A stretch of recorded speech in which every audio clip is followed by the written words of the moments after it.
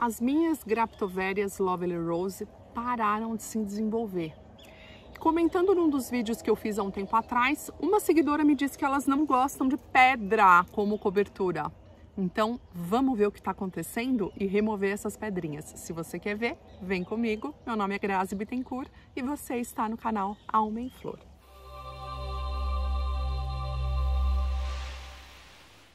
Pois bem, elas pararam no tempo. Olha só, não vai para frente, não vai para trás, não crescem e essa é uma planta que se multiplica muito facilmente por folha e não tem um crescimento lento.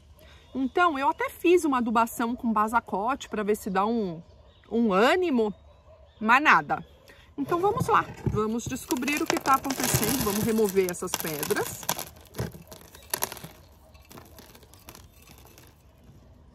Eu não lembro quem foi a seguidora que me deu essa dica, peço até desculpas, mas gratidão pela dica. E eu quero descobrir o que está acontecendo com essa mocinha, porque eu até conversei com os meus alunos para saber em que tipo de vaso eles plantam. Todos eles ou é vaso plástico ou é vaso de barro. Esse é um vaso de cimento numa tentativa que eu fiz. eu não tenho muito jeito para isso. E vamos ver se tem algum problema aqui por baixo que não permite que elas se desenvolvam. Então eu vou remover todas as mocinhas para a gente descobrir o que está acontecendo, que pode ser nematóide, pode ser algum tipo de doença também. E vou fazer uma limpeza nas raízes para a gente ver juntos o que está rolando. O substrato está super poroso, as raízes já até encontraram a manta de bidim aqui embaixo.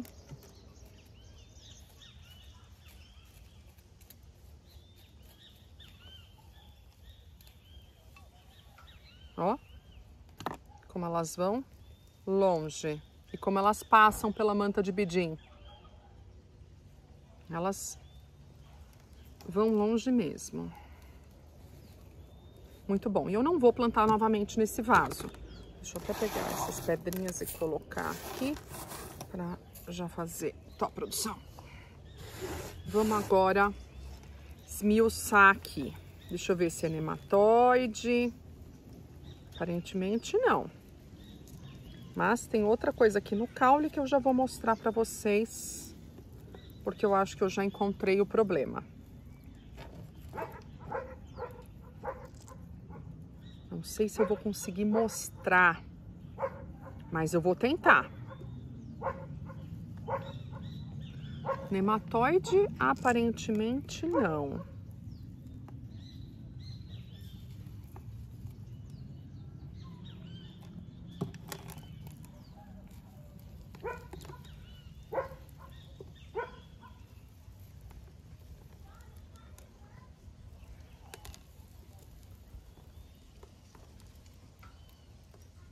Fazer a limpeza, é sempre importante a gente remover essas folhinhas.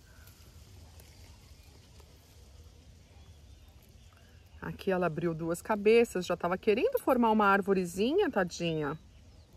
Mas não tá indo para frente, não. E aqui eu vou conseguir mostrar para vocês, aqui tem mais um bebezinho. O problema que existe nessa minha jardineira e que talvez muitos de vocês desconheçam. Então agora vamos à hora do foco. Vamos lá. Deste lado dá para ver uma cobertura meio acinzentada na planta. Deu para ver, produção? Diferente daqui, ó. Aqui eu tenho a cor natural do caule e aqui eu tenho parte dessa cobertura cinzentada. Isso é ácaro, tá, gente? A minha planta não está se desenvolvendo porque ela foi atacada por ácaros. Ácaros nos cactos, nas suculentas e nas rosas do deserto. Isso é comum. E qual é o tratamento para o ácaro? O tratamento mais eficaz que a gente tem hoje para o ácaro é o uso do álcool isopropílico. Então aqui eu tenho álcool isopropílico a 70%. Então tem 700, eu fiz uma solução com 700 ml de álcool isopropílico e 300 ml de água. Misturei tudo, tenho a solução a, 700, é, a 70%. E eu vou dar um banho nas minhas é, Lovely Rose antes de replantar com o álcool isopropílico. Esse banho deve ser repetido por no mínimo três dias consecutivos, porque o ciclo do ácaro, entre ele nascer, sair do ovo, crescer e se reproduzir, ou seja, botar mais ovinhos para novos ácarozinhos nascerem, leva três dias. Então eu, eu tenho que pegar todo o ciclo, ciclo completo para poder eliminar a praga. E não pode falhar, tem que ser três dias consecutivos. Se daqui 15 dias eu observar, né, 15, 20 dias, um mês, eu observar que a planta continua apresentando manchas em locais que não existiam, eu tenho que trocar a, é, é, o produto e aí a gente pode usar um acaricida, aqueles produtos que a gente usa para matar carrapato, claro que sempre na diluição para matar animais rasteiros, que é a é, diluição mais leve. E aí vocês vão olhar a bula do remédio, tá? Esses produtos, esses acaricidas, a gente compra em pet shop ou é, casa agropecuária. E o que eu vou fazer então? Eu vou dar um banho. E eu vou dar um banho, sem medo de ser feliz. Vou dar... Ai, essa água vai escorrer para mim. Deixa eu sair daqui de trás para não levar um banho de álcool. Ah, tem um paninho aqui. Vamos botar o paninho aqui. E eu vou dar um banho em toda a minha planta, de modo que ela fique bem molhada. O álcool isopropílico a gente encontra em casas de produtos de informática. Por quê? Porque esse é o álcool utilizado para limpar aparelhos eletrônicos. Não é o álcool de posto de gasolina, não é o álcool vendido em farmácia e nem em supermercado. Infelizmente, nesse momento ele está caro e ele não é fácil de encontrar, mas é um produto multiuso que eu gosto muito e eu sempre indico nos meus vídeos. Esse banho não pode falhar, tá, gente? Coloca o celular para despertar. Coloca o celular para despertar, lembrando do banho no ácaro. Os ácaros normalmente são invisíveis a, a olho nu, são muito pequenininhos. Às vezes a gente consegue visualizar a teiazinha, porque ele é da família dos carrapatos, da família das aranhas, a teiazinha que ele forma na parte de baixo da planta. Feito o banho, agora eu vou plantar. O meu vaso já está aqui, estou trocando por um vaso de barro substrato típico de suculentas. Então, para quem não sabe montar o substrato, vou deixar o link aqui para vocês.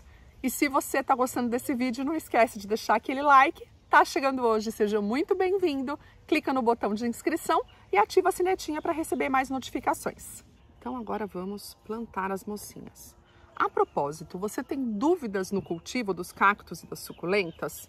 eu tenho um curso super completo que fala a respeito de tudo no cultivo dos cactos e das suculentas. Meu curso Suculentas Duradouras, vou deixar o card dele aqui para vocês verem.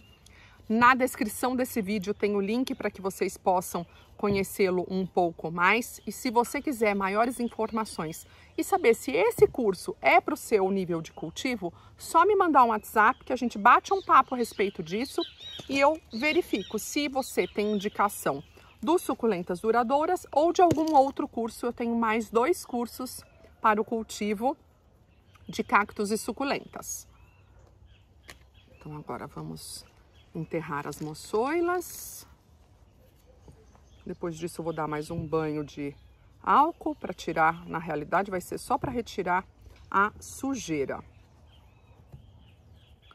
Porque elas estão molhadas e minha mão acabou ficando suja. E não vou fazer cobertura com pedra brita.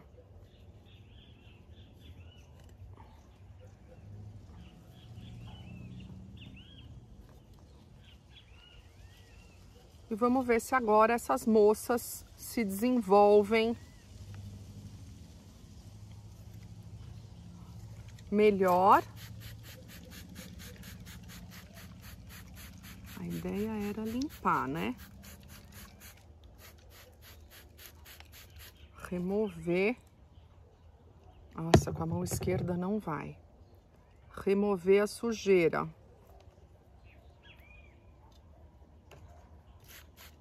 Porque a minha mão tá super suja.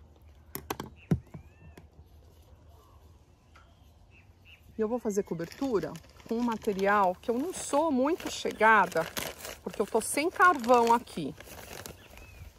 Com casca de pinos.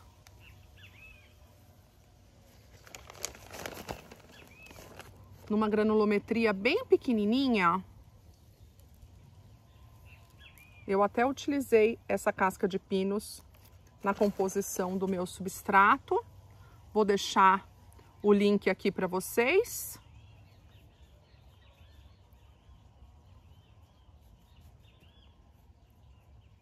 Não gosto muito de usar ele como cobertura.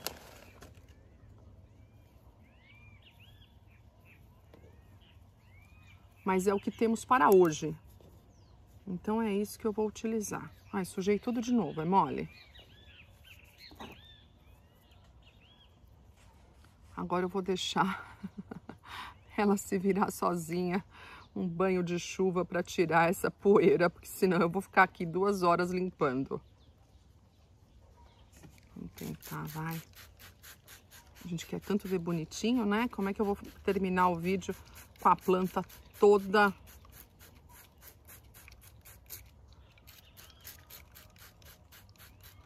empoeirada. E pronto. Cá estão minhas mocinhas, plantadas novamente, descoberto o problema.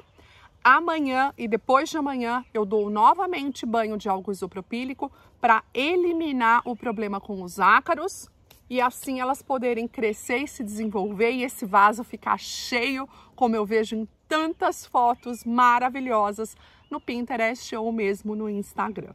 Se vocês gostaram das minhas moçoilas e gostaram de aprender como tratar a planta infectada por ácaro, não esqueça de deixar aquele like e compartilhe os vídeos nas redes sociais para que mais pessoas possam aprender a cuidar das suas plantas. Um super beijo no coração e até o próximo vídeo. Tchau!